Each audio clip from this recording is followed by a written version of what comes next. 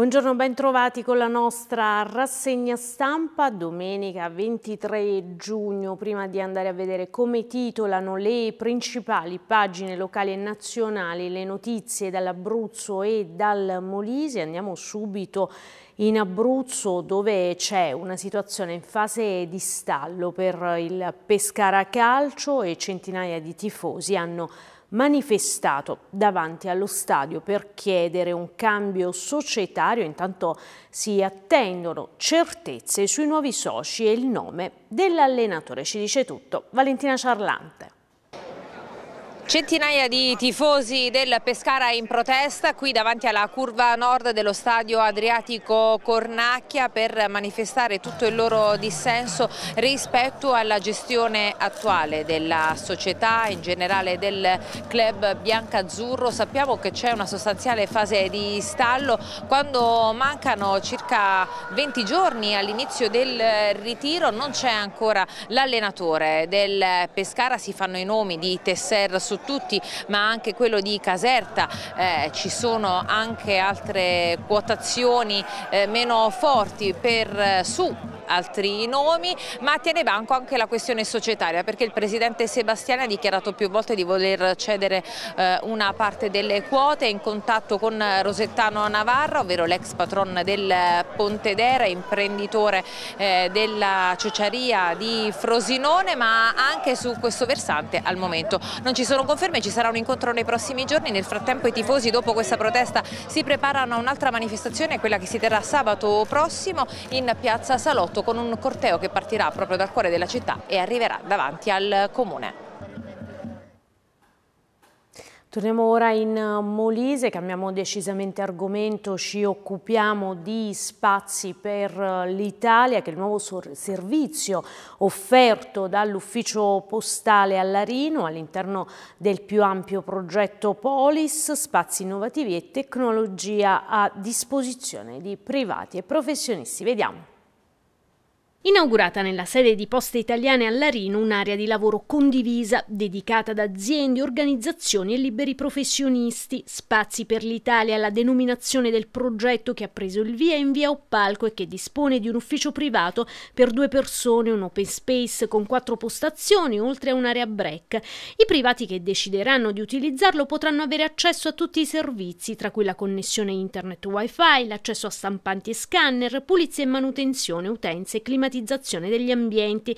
Soddisfazione per l'iniziativa è stata espressa dal sindaco Pino Puchetti. Ringrazio Poste Italiane per questa, questo progetto che è stato voluto fortemente eh, in questa comunità, eh, noi l'abbiamo apprezzato, è fondamentale per poter eh, garantire eh, un maggiore sviluppo del tessuto economico e produttivo del, del, del nostro la nostra città e del tutto il circondario. Un servizio, quello di cui da ora dispone Larino, che pone il medesimo centro basso molisano nella diffusa rete di spazi per ufficio digitalizzata e accessibile del paese, un investimento importante sul territorio, così come spiegato da Roberta Sacchetti, referente della struttura immobiliare di Poste Italiane. Spazi per l'Italia è una delle anime del più ampio progetto Polis con il quale Poste Italiane ribadisce la sua presenza sui territori e la vicinanza alle comunità.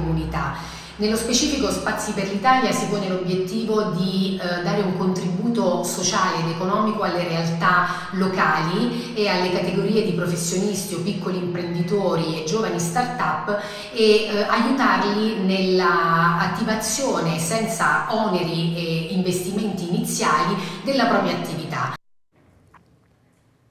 E continuiamo a restare in Molise, ma andiamo a vedere come titola la prima pagina di Primo Piano Molise. In apertura di primo piano Molise c'è il ballottaggio, si vota oggi e domani a Campobasso per scegliere il sindaco, dice primo piano, seggi aperti da questa mattina alle 7 fino alle 23, poi domani dalle 7 alle 15 e poi subito dopo lo scrutinio. Aldo De Benedetti e Maria Luisa Forte si contendono la fascia al ballottaggio, sono state allestite 56 sezioni, 42.583 gli aventi diritto al voto, alto il rischio di astensione. E poi coda al veleno ancora, dice primo piano, con i comizi di chiusura della campagna elettorale, il presidente Roberti che finisce nel mirino dell'Arcigay. Ancora da Termoli, sempre le amministrative, c'è un errore nei resti, Fratelli d'Italia scippa un seggio alla Lega. Su istanza di Della Porta la Commissione ha preso atto della svista e rettificato il verbale. Marone, attendiamo le carte, se non ci convincono andiamo al TAR. E poi il punto a cura di Giuseppe Carozza sull'esame scolastico e la vera Maturità è l'editoriale appunto a cura di Giuseppe Carozza. Ancora da Campobasso la crisi idrica, quella volta di Enrico Berlinguer al quartiere CEP. Ancora dentro la notizia con la notizia che arriva appunto da Poggio Sannita, un malore nel garage dove lavorava è shock per la scomparsa di Mariolino Palomba. E poi ancora da Campobasso a Coltella il compagno della ex e il trentenne finisce in cella. Da Roccavivara, ucciso da due rapinatori alle porte di Roma, polizia e comune ricordano Carlo Tuffilli e poi in taglio basso sulla prima pagina di Primo Piano Molise il commento prelievo degli organi di Santo dalla sinergia rinasce la vita, un tassello importante nella riorganizzazione delle attività dell'ospedale Cardarelli. Le notizie sotto la testata di primo piano Molise con lo sport, i lupi, Romero, spero che questi successi siano l'inizio di un grande percorso in Serie C. Termoli, Dinisio è il nuovo allenatore della Juniores, Esposito invece va all'Avezzano e poi il basket, il tecnico Diotallevi, soddisfatto per la seconda sessione del raduno. Ed ora dalla prima pagina di Primo Piano Molise ci spostiamo in Abruzzo e andiamo a vedere come titola la prima pagina del centro. Giunta, ecco gli esclusi eccellenti, dice in apertura il centro che fa appunto il punto sull'esito delle amministrative da Pescara via gli incontri per la nomina degli assessori, l'Epore ci tocca un posto, dice il centro. E poi le fotonotizie che parlano del caldo record, la guida utile per mantenere la casa fresca. Caramanico c'è un'inchiesta della Procura sulle terme ed è stato aperto un fascicolo, dice ancora il centro. Acqua, scatta il razionamento di notte, ridotta la portata del 50% a Pescara, ancora disagi nei paesi, il piano dell'ACA per l'estate.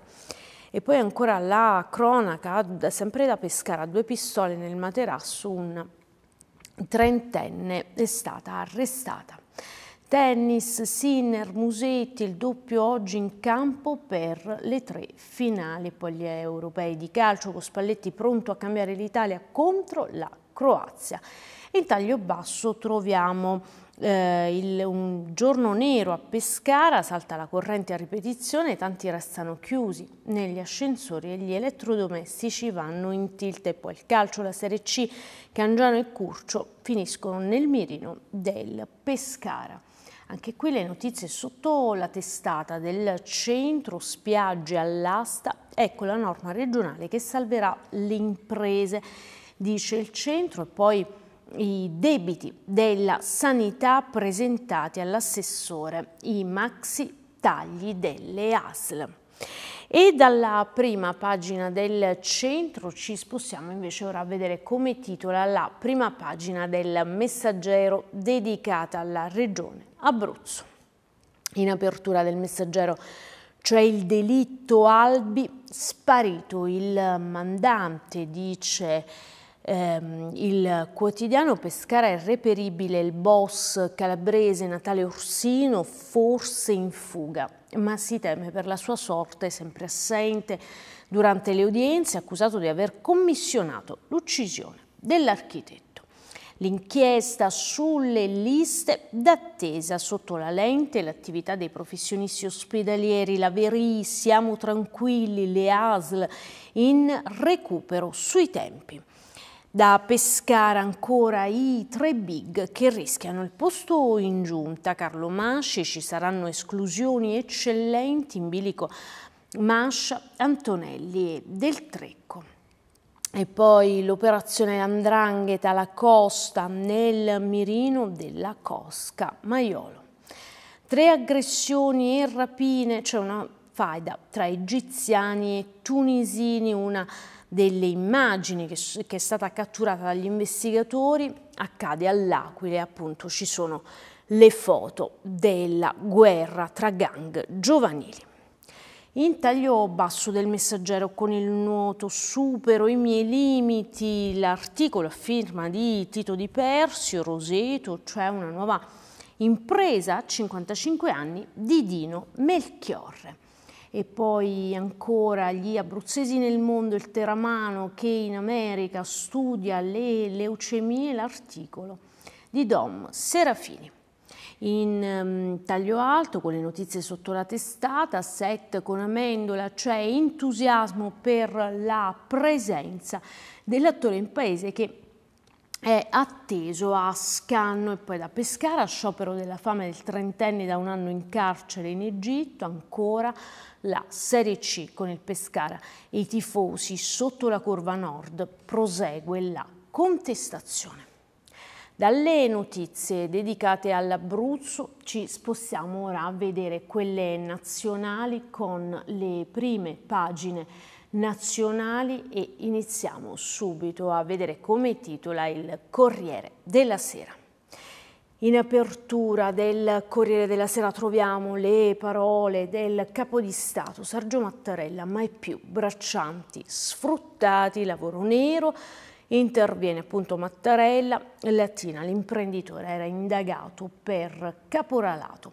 Oggi intanto le eh, urne aperte in 101 comuni per i ballottaggi da Firenze a Bari a Perugia, ci sono le sfide decisive per i partiti.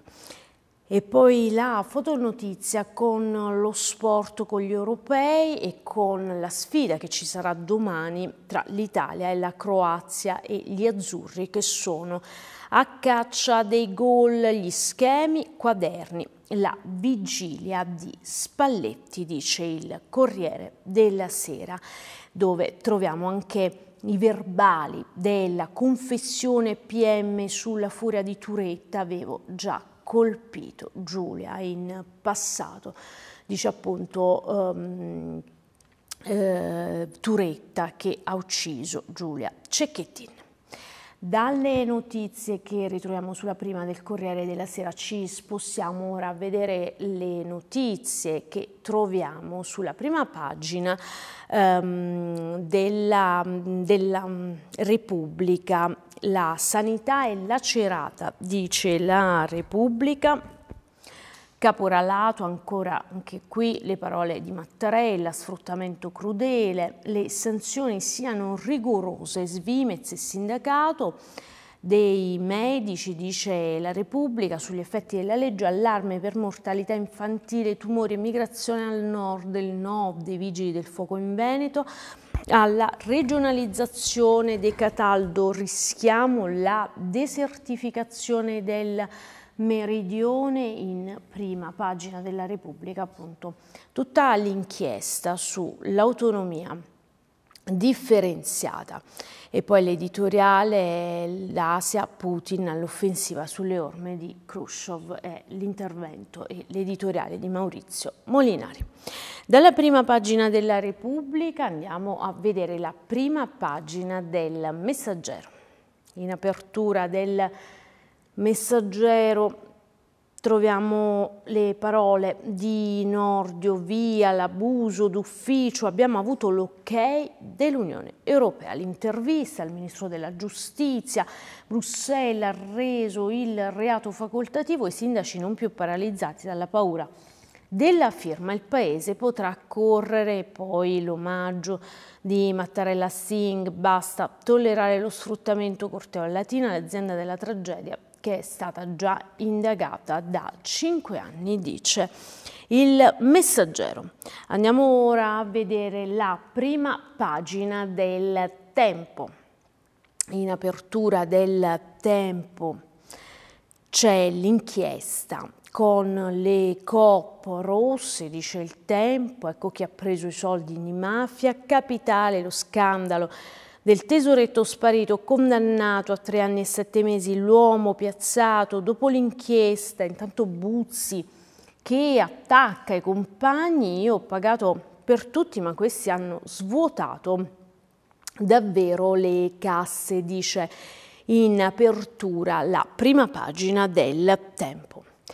Ci spostiamo dal tempo, ora andiamo a vedere la prima pagina del Fatto Quotidiano in apertura del Fatto Quotidiano la questione del caporalato. Anche qui il governo che mh, interviene sul caporalato, niente fatti e soldi buttati, commenta il Fatto Quotidiano. A Latina, cittadini assenti, in piazza solo mille Sink, poi tra Calderone, Lollo lei desertifica i tavoli e la consulta, lui spreca e spot e consulenze, poi il sociologo, Mizzolo, serve, l'antimafia, gli indiani reclutati da caffè onoranze funebri, c'è una falla nella Bossi Fini, ancora il costituzionalista Gaetano Azzariti che dice invece il premierato va fermato alla consulta ma intanto ha risvegliato le opposizioni. Troviamo sulla prima pagina del Fatto Quotidiano. Andiamo ora a vedere invece come titola il manifesto. Sulla prima pagina del manifesto c'è la fotonotizia, poi il titolo, bruciano i tempi e appunto le notizie che arrivano dal fronte del Medio Oriente dove il leader israeliano Netanyahu preme sull'acceleratore a Gaza per poi pensare all'offensiva nel sud del Libano, bombardamenti come nei primi mesi di guerra dopo il massacro della tendopoli di Mavasi nel campo di Sati e Tufà e strage di civili palestinesi, dice il manifesto che poi parla anche dell'emergenza siccità in Sicilia con gli allevatori che sono in ginocchio, comuni a secco, centri dialisi che sono in allarme, non c'è più acqua nemmeno per piangere, commenta il manifesto. Andiamo ora a vedere la prima pagina della verità.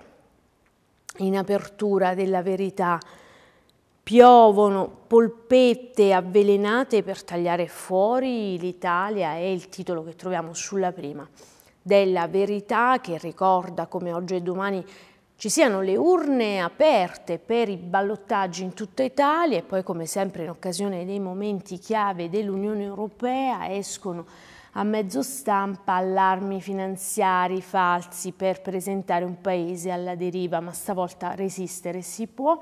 Parigi e Berlino non possono più ridere.